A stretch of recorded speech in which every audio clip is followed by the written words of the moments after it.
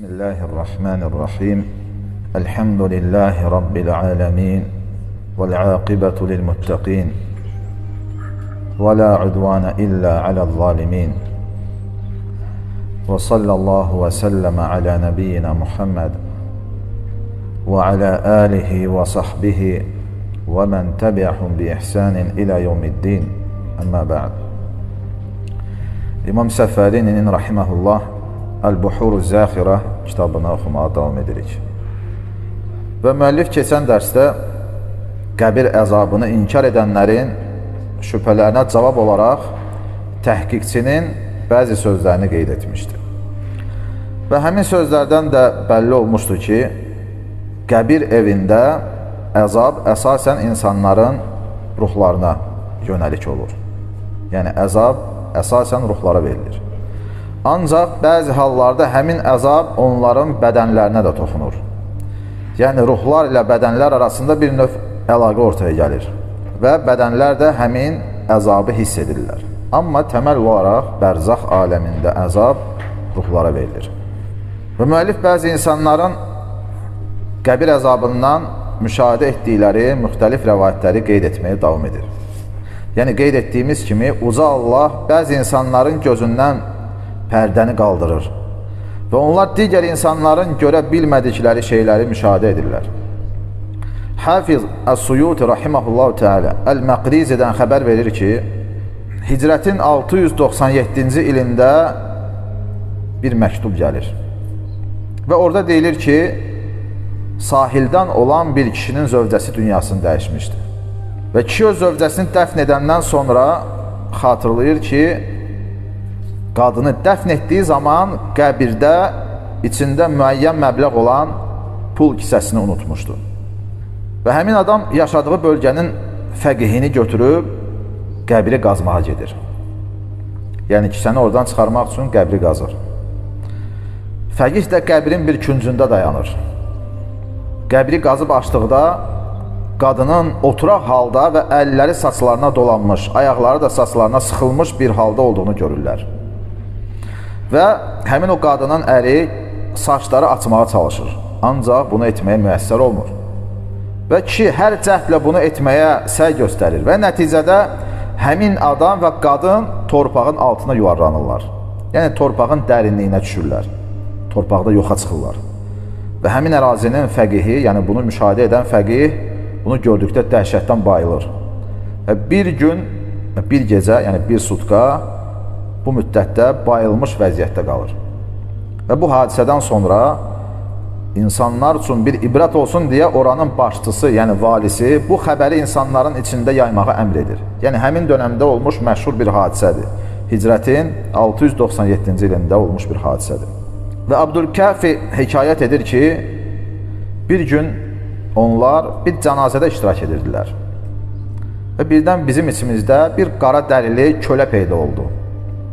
Və insanlar ölmüş insana cənazə namazını qıldıqları halda həmin şəxs cənazəni qılmadı. Və artıq dəfn başladıqda, yəni ölmüş insan qəbrə qoyulduqda həmin qara dərili mənə baxıb dedi ki, mən onun əməliyəm. Və daha sonra özünü qəbrə atdı. Və qəbrin içinə baxdıqda artıq orada heç nə görmədim. Yəni həmin o şəxs sırf olaraq o insanın gözünə görsənmişdi. Digər insanlar isə onu müşahidə etməmişlər. Və həmçə İmam Səffərini bu kitabında qəbir əzabı barədə bir sıra digər rəvayətləri də qeyd edir, yaxud da ki, bu rəvayətləri nəql edir. Və bu rəvayətlərin bəziləri səhih, yəni səhih isnadlı, bəziləri də zəif isnadlı rəvayətlərdir. Və sonra Səffərini rahimehullah təala buyurur ki, buna bənzər rəvayətlər həddindən artıq çoxdur. Yəni bu cür hadisələr sələfin dönəmində və həmçinin onlardan sonra gəlmiş salih insanların gözünə görsənmişdir. Və buna bənzər rəvayətlər həddindən artıq çoxdur. Qəlbində imanın şirinliyini dadan bir kimsə qəbir əzabını inkar etməz. Çünki buna dair bir sıra səhih xəbərlər gəlmişdir. Ardarda əsərlər varid olmuşdur.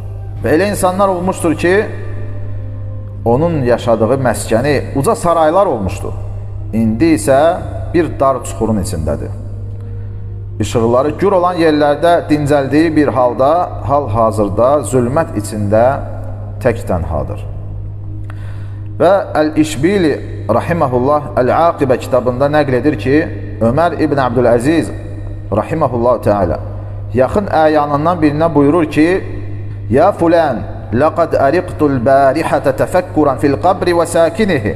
Ey filan kəs, dünən bütün gecəni qəbir və orada olan sakini barəsində düşünərək yuxusuz qaldım. İnneke lev ra'aytal meyyite ba'de thalath layalin fi qabrihi lestawhashta minh بعد طول الأنس به بلوك أجل سن ölmüş insanı 3 geceden sonra qəbrinde görseydin onunla uzun müddət yaxın bir yoldaş olmağına rəğmən həmin mənzərədən dəhşətə gələrdin. وَلَرَأَيْتَ بَيْتًا تَجُولُ فِيهِ الْهَوَامُ وَيَجْرِي فِيهِ الصَّدِيدُ وَيَخْتَرِقُهُ الدِّيدَانُ مَعَ تَغَيُّرِ الرِّيحِ وَتَقَطُّعِ الْأَكْفَانِ وَكَانَ ذَلِكَ بَعْدَ حُسْنِ الْهَيْئَةِ وَطِيبِ الرِّيحِ وَنَقَاءِ الثَّوْبِ Orada həşəratların qaynaşdığı, irinin axdığı, qurtların bədəni didi-didi etdiyi bir evi görəcəkdin. Bununla yanaşı, oranın qoxusu dəyişmiş, kəfən parça-parça olmuşdu. Halbuki bu hal insanın qəbirdə olan halı, insan gözəl bir görünüş, gözəl qoxu, təmiz paltarda olduqdan sonra hasil olmuşdu. Və İmam Ömər ibn Abdüləziz rahiməhullah bunu deyəndən sonra hönkürtü səsi ilə bayılaraq diz üstə çökmüşdü. Və daha sonra müəllif bu mövzuda verilə biləcək bəzi suallara cavabları qeyd edir. Buyurur ki, sual verə bilərsən. Qəbir əzabı daimidirmi, yoxsa nə vaxtsa kəsiləcək? Yəni, insan öz qəbrində qiyamətə qədərmi əzablandırılır, yoxsa onun əzabı müvəqqətidir? Və bunun cavabı olaraq təhqiqçinin sözlərini gətirir. Təhqiqçi də məlum olduğu kimi İbnül Qeyyimdir, rahiməhullah. Təhqiqçi buyurur ki, qəbir əzabı iki növdür daimi olan növüdür, bu da kafirin əzabıdır. Hədislərdə də gəlib ki, onların əzabı daimi olar. Və yalnız iki sura üfürülməsi arasında onların əzabı yüngülləşdirirlər və yaxud da ki, səngiyər.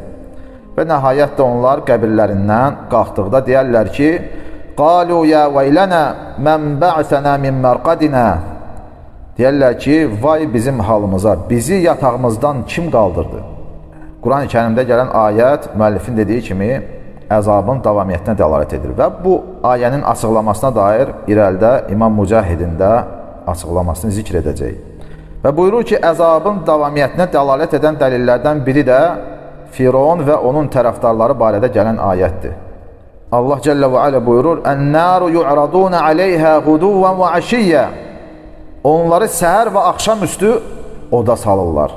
Yəni, o kafirlər səhər və axşam, yəni daimi halda, daimi bir surətdə əzablandırılırlar. Və Səhih Buxaridə gələn hədisdə Səmura ibn Cündəb radiyallahu teala anhu Peyğəmbərdən sallallahu aleyhi və səlləm rəvayət edir ki, onlara qiyamət günü nəcən əzab verilir. Bəra ibn Azibin hədisində isə kafirin qəbirdə olan halı barədə Allah Rasulü sallallahu aleyhi və səlləm buyurur ki, ثم يفتح له باب إلى النار فينظر إلى مقعده فيها حتى تقوم الساعة Daha sonra onun üçün cəhənnəmə bir qapı açılar və o qiyamət qopanacan orada qalacağı yerə baxar. Yəni cəhənnəmdə qalacağı yerə baxar. Və bu da qiyamətə qədər davam edər. Və həmin hədisin digər rəvayətlərində gəlir ki: "Summa yukhraqu lahu kharqan ila-n-nar" fəyətihi min ghammiha və duxaniha ilə yevmil qiyamə. Daha sonra onun üçün cəhənnəmə bir dəlik açılar və qiyamət gününəcən cəhənnəmin acısı və tüstüsü ona toxunar. Və bütün bu rəvayətlər kafirə qəbrində verilən əzabın daimi olduğunu ifadə edir. Bu birinci növ əzabdır. İkinci növ isə müəyyən müddətəcən olan əzabdır. Bir müddət sonra həmin əzab yoxa çıxacaq. Yəni, ölüyə çatan yaxınlarının və yaxud digər insanların duası və ya da ki, sədəqəsi, yaxud istiğfarı, yaxud da ki, həd savabı və ya Quran qirayəti nəticəsində onun əzabı kəsilir.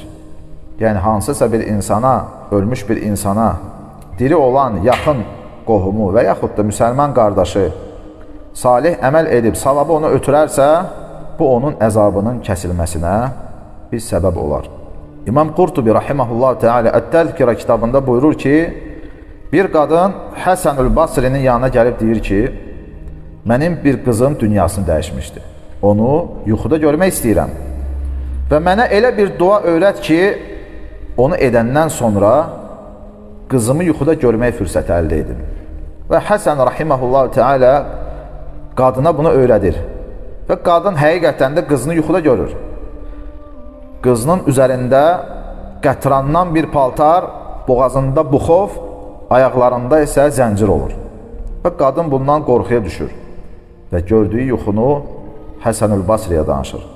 Və Həsən də bu yuxudan narahat olur. Yəni qızından ötürü kədərlənir. Və qısa müddətdən sonra Həsən rahimehullah Teala həmin qızı yuxuda görür. Onun cənnətdə bir taxtın üzərində əyləşdiyini, başında da bir tacın olduğunu görür. Və qız ona deyir ki, ey şeyx, məni tanıdınmı? Həsən isə xeyr deyə cavab verir. Yəni Həsən onu ilk olaraq tanımır. Yuxuda gördüyü qızı tanımır, çünki onu heç vaxt görməyib. Qız deyir ki, mən duanı öyrətdiyin və məni yuxuda görən həmin qadının qızıyam. Və Həsən rahimehullah buyurur ki, sənin bu cür dəyişməyinin səbəbi nədir? Yəni anan səni çox narahat bir halda görmüşdü. Zəncirlər içində görmüşdü. Qız isə buyurur ki, bir adam bizim qəbirstanlığın yanından keçdi və Peyğəmbərə sallallahu aleyhi və səlləm salavat söylədi.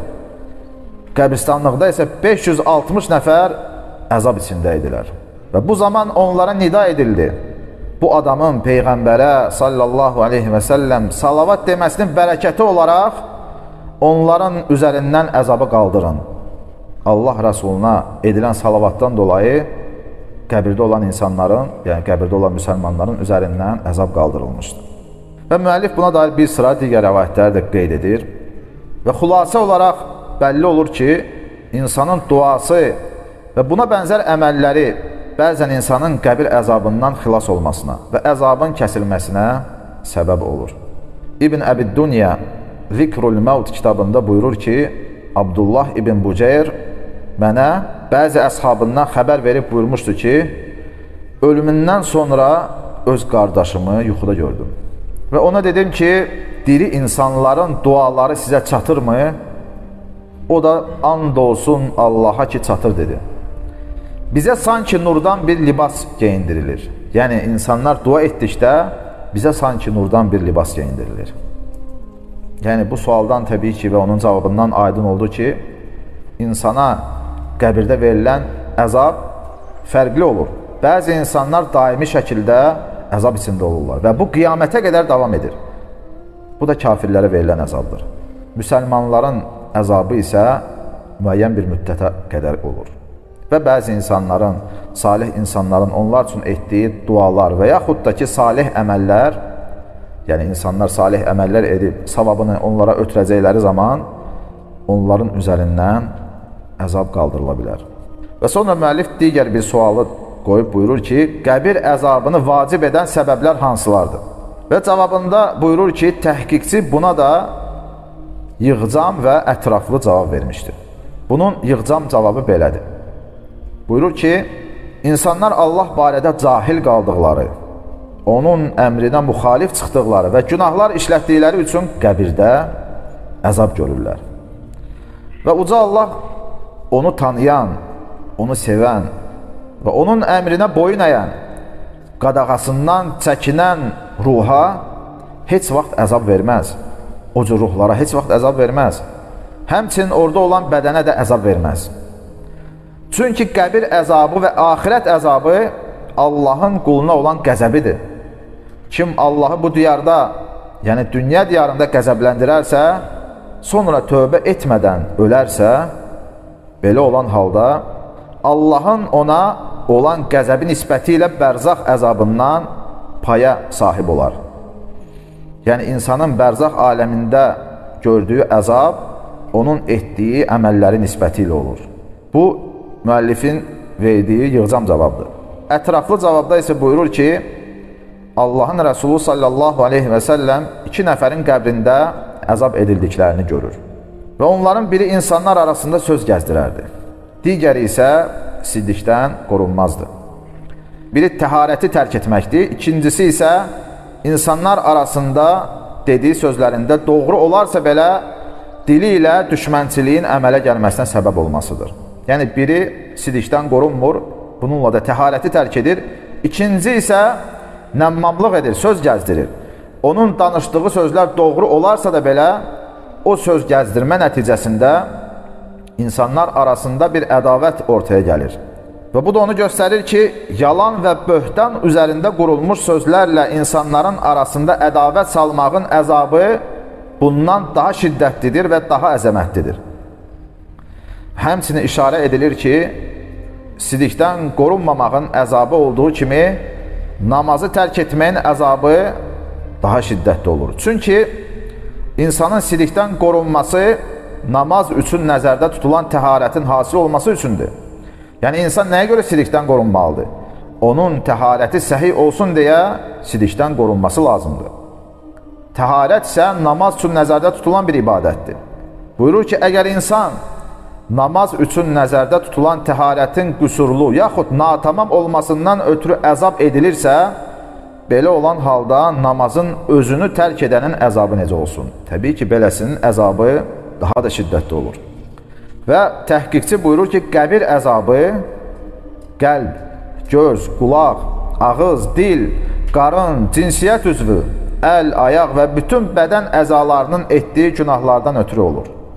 Buyurur ki, yalancı, qeybətçil, yalandan şahidlik edən, namuslu qadınlara iftira atan, fitnələri oyadan, bidətə çağıran, sələmçilik yeyən, onu yazan və ona şahid duran, sələmi verən, yəni ribanı verən, yetimlərin malını yeyən, rüşvətdən və buna bənzər şeylərdən gələn qazancdan yeyən, haqsız olaraq müsəlman qardaşının malını yeyən, həmçinin zimminin, müstəmənin malını yeyən, yəni zimmi kafirin və müstəmən kafirin malını yeyən, sərxoş edici içkilər içən, zinakar, Lut qövmünün əməlini edən, xain, hilə işlədən, Allahın fəzləni qüvvədən salmaq üçün hilə edən, müsəlmanlara əziyyət verən və onların ayıblarını açıb tökən, Allahın hökmünü deyil, başqası ilə hökm verən, Allahın şəriətdən müxalif qərarlar verən, günahlara yardımcı olan, Allahın haram etdiyi nəfsə qıyan, yəni insan öldürən, çəkidə aldadan, etdiyi günahı ilə öynən, çirkin sözlər danışan və s. bir sıra digər günahları edən insanlar qəbrində əzab görəcəklər. Bunu İbnül Qeym buyurur. Və sonra buyurur ki, فَكُلُّ هَؤُلَاءِ وَأَمْثَالُهُمْ يعذبون في قبورهم بهذه الجرائم بحسب كثرتها وقلتها وكبرها وصغرها إن لم يعفو عنهم أرحم الراحمين Bütün bu şeyləri və onun mislində olanları edənlər bu cinayətlərdən ötürü onun çox və az olması, böyük və kiçik olması nisbəti ilə qəbirlərində əzab edilərlər. Əgər Arhamur Rahimin olan Allah onları əff etməzsə, onlar əzabə dülsər olacaqlar. Bəlli olur ki, bütün bu günahları edən insanlar da qəbirlərində əzab olunacaqlar və qəbirdə olan əzab xüsusi hansısa bir günahla məhdudlaşmır. Və sonra təhqiqçi buyurur ki, əksər insanların halı bu cür olduğu üçün qəbirdə olanların çoxunun əzab içində olduğu bəlli olur. Əksər insanlar qəbrində əzab içində olacaqlar. Xilas olanlar isə çox azdır. Qəbirlərin zahiri torpaq olsa da, onun daxili peşmançılıq və əzabdır. Qəbirlərin zahiri torpaq və onun üzərində qoyulmuş naxışlı daşlar olsa da, onun daxili dərd və acılardır. Və sonra müəllif buyurur ki, insanı qəbir əzabından xilas edən səbəblər hansılardır? Və təhqiqçi bu məsələyə də iki yöndən cavab verir. Yığcam və ətraflı cavab. Yığcam cavab odur ki, insan qəbir əzabını gərəkdirən səbəblərdən kənar durmalıdır. Və bu səbəblərdən ən faydalı olanı isə insanın yatmazdan öncə Allah üçün bir saat əyləşib öz nəfsini sorğu-suala çəkməsidir. Gün ərzində itirdiyi və qazandığı şeylərə nəzər yetirməsidir. Bunun ardından özü ilə Rəbbi arasında səmimi bir tövbəni yeniləməsidir. Əgər insan hər axşam yatmazdan öncə öz nəfsini sorğu-suala çəkərsə və etdiyi günahlarından tövbə edərsə, şübhə yoxdur ki, Allahın dərgahında heç bir günaha sahib olmadan onun önündə durar. Ancaq əgər insan hər gecə nəfsini sorğu-suala çəkmədən yatarsa və etdiyi günahlarını unudarsa, tövbə etmədiyi günahlardan ötürü qəbrində əzab görəcək. Sonra İbnül Qeyyim rahimehullah təala buyurur ki, daha sonra bu tövbə üzərə yatmasıdır. Eyni zamanda etdiyi günaha bir daha dönməmək əzmində olmasıdır. Və oyandıqda əməllərə can ataraq əcəlinin təxirə salınmasına sevinərək oyanmasıdır. Yəni Allahdan ona verilən möhlətin uzadılmasına fərəhlənməsidir. İnsan səhərə çıxdıqda bundan ötürü sevinməlidir. Çünki Allah Cəllə və Alə onun möhlətini artırmışdır. Neçə-neçə insanlar var ki, sən yatıb səhərə durduqda onlar yatmış, lakin oyanmamışlar. Və Allah Cəllə və Alə artıq onlara möhlət verməmişdir. Lakin sənə möhlət verilmişdir. Salih əməllərini çoxaltmaq üçün sənə möhlət verilmişdir. Və təhqiqçi buyurur ki, insan üçün bu tövbədən daha faydalı bir şey yoxdur. Xüsusən də bunun ardından yuxuya dalacağı vaxta qədər, yatana qədər Allah Cəllə və Aləni zikr edərsə, varid olan duaları, zikirləri edərsə, onun faydası daha da artar. Və uca Allah bir quluna xeyir istədikdə, onu qeyd edilən şeyləri müvəffəq edər.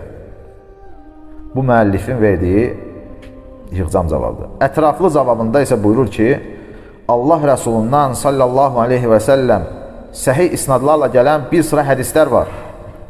İmam Muslim Səlmən Əl-Fərisidən radiyallahu anhu rəvayət edir ki, o Allah Rəsulunun sallallahu aleyhi və səlləm belə dediyini eşitmişdi. Ribatu yevmin və leylətin xeyrun min siyami şəhrin və qiyamihi və immətə ucriyə aleyhi aməluhu ləzi kənə ya'məluhu və ucriyə aleyhi rizquhu və əminə minəl fətdən bir gün və bir gecə ribatda durmaq bir ayın orucu və qiyamından daha xeyirlidir. Əgər insan bu halı üzərə ölərsə, onun etdiyi əməlinin savabı davam edər. Beləsi ruzisinə yetişər və fəttandan əminamançılıqda qalar. Fəttan da insanı qəbirdə sınayan mələklərdir. Həmçin İbn Abbas radiyallahu anh rəvayət edir ki, Peyğəmbərin sallallahu aleyhi və səlləm əshabından biri qəbrin içində bir çadır qurur. Oranın qəbir olduğunu isə bilmir. Və bu zaman bir adamın Əl-Mulk surəsini axıracan oxuduğunu eşidir, yaxud da ki, elə bir səs eşidir. Və Allah Rasul sallallahu aleyhi və səlləm bu hadisə barədə buyurur ki, Hiyəl məniə, hiyəl munciyə, tuncihi min əzəbil qabr. O, yəni Əl-Mulk surəsi mane olan, xilas edəndir. Yəni, əzabın enməsinə mane olandır və onu əzabdan xilas edəndir. İnsanı qəbir əzabından xilas edir. İmam Tirmizi bu hədisi gətirdikdən sonra onun qərib hədis olduğunu demişdir.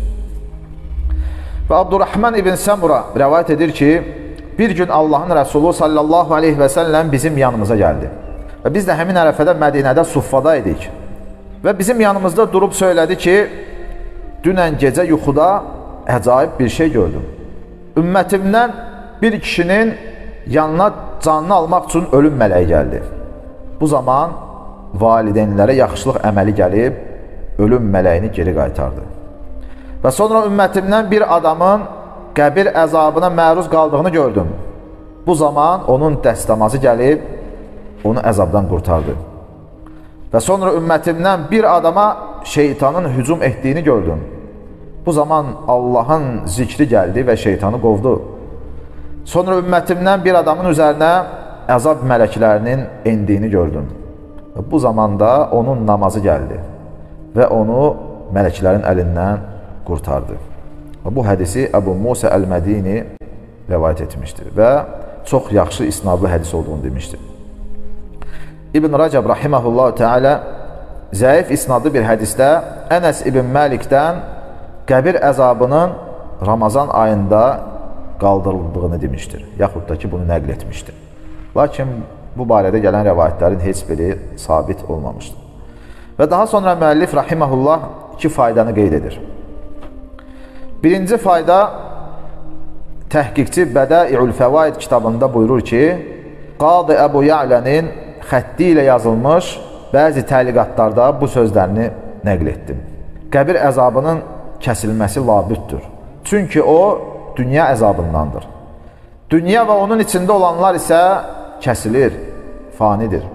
Bu səbəbdən ona yoxluğun gəlməsi qaçınılmazdır. Ancaq bunun nə qədər davam edəcəyi bəlli deyil. Hafizə Suyuti rahiməhullah buyurur ki, buna güc qatan rəvayətlərdən biri də Hənnədin Əz-Zuhd kitabında nəql etdiyidir. Mücahiddən rahiməhullah rəvayət edilir ki, qiyamət günündə kafirlər yüngül bir mürgiyə gedəcəklər. Azacıq yuxunun dadını hiss edəcəklər. Çünki onlar qiyamətə qədər əzab içində olacaqlar. Və artıq insanlar öz qəbirlərindən qaldırılma ərəfəsində olduqları zaman Allah Cəllə və Alə kafirlərə yüngül bir mürgü göndərər. Və qəbir əhli surun səsindən qalxdıqları zaman isə kafir deyər. Ya veylənə, mən bə'sənə min mərqadinə, vay halımıza, bizi yatdığımız yerdən kim qaldırdı? Və onun böyründə olan mömin isə deyər, Həzə mə va'dər-Rəhmən və sadəqəl-mürsəlun. Bu, Ər-Rəhmən olan Allahın vəd etdiyi qiyamətdir. Elçilər də doğru söyləmişlər. Yəni, bütün insanlar qiyamət günündə qaldırılacağı zaman kafir bu sözləri deyər. Onun yanında olan mömin isə bu cavabı verər. Və ikinci faydada buyurur ki, təhqiqçi Əl-Bədai kitabında buyurur. Bir sıra insanlar demişlər ki, bətnində müsəlman uşağı olan nəsrani qadın dünyasını dəyişəcəyi zaman həmin qəbirə həm neymət, həm də əzab nazil olar. Neymət onun bətnində olan uşağı, əzab isə ananı haqlayar. Yəni, neymət uşaq üçün nazil olar, əzab isə onun anası üçün. Eyni ilə də bir qəbirdə mömin və kafir dəfn ediləcəyi zaman həmin qəbirdə neymət ilə əzab cəmləşər. Və sonra müəllif buyurur ki, qəbir neyməti və əhlinin kəraməti barədə gələnlər və müşahidə edilənlər həddindən artıq çoxdur. Yəni, müəllif qəbir əzabı barədə danışdıqdan sonra qəbir neymətinin də sabit olduğunu deyir. Buyurur ki, artıq bunun bəzisi öncəki rəvayətlərdə qeyd edilmişdir. İbn Əbid Dunya Ər-Riqqatu vəl-Buka kitabında nəql edir ki, Ravvad Əl-İcli dünyasını dəyişdikdə qəbrinə qoyuldu. İcli qəbrinə qoyulduqda onun qəbrinin hər tərəfinin reyhan bitkisi ilə əhatəyə alındığını gördülər. Və orada olan insanlardan bəziləri reyhan bitkisindən dərdilər. Və həmin bitki 70 gün ərzində tərabətli qaldı və qoxusunu itirmədi. Və orada olan insanlar gəlib həmin bitkiyə baxardılar. İnsanların gediş-gəlişi soxaldıqda isə həmin ərazinin əmiri fitnədən qorxaraq insanları oradan dağıtdı. Və sonra həmin o vali, başçı həmin bitkini öz evində itirdi və onun hara yoxa çıxdığı da sonradan bilinmədi. İbnül Cavzi rahiməhullah öz tarix kitabında nəql edir ki, Hicrətin 276-cı ilində Bəsrə ərazisində bir təpəcik yarıldı və həmin yerə Təllu Bəni Şəqiq deyilirdi. Və orada da 7 adamın qəbri var idi. Qəbirlərdə ölmüş insanların bədənlərinin salamat, kəfənlərindən isə müşk qoxusunun gəldiyini görürlər. Yəni görürlər ki, o insanların bədəni çürüməmişdir.